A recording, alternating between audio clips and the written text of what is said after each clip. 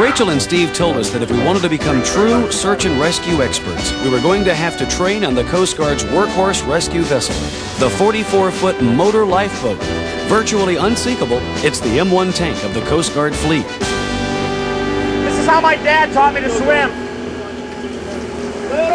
Man overboard, starboard side! The Coast Guard trains for man overboard rescues with a dummy they affectionately refer to as Oscar. The object is to retrieve Oscar from the water quickly and efficiently, not two of our better attributes. Here it comes. And slow down! You get it?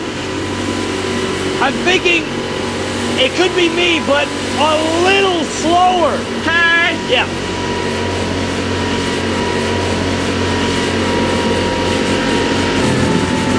Here it comes!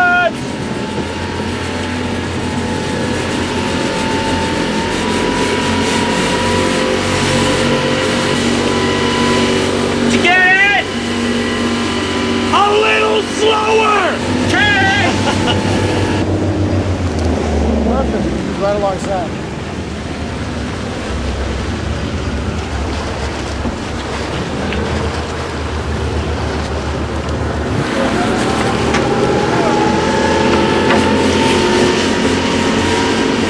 There goes the boat you get it?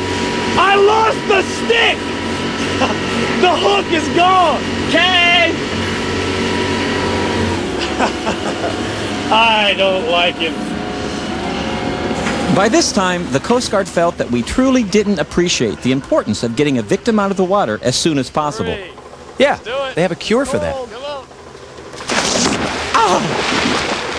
on.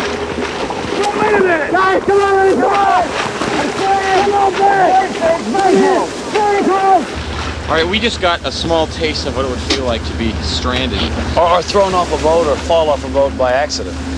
The swells go, you know, 10 feet above your head. You can't see anything, and it's freezing.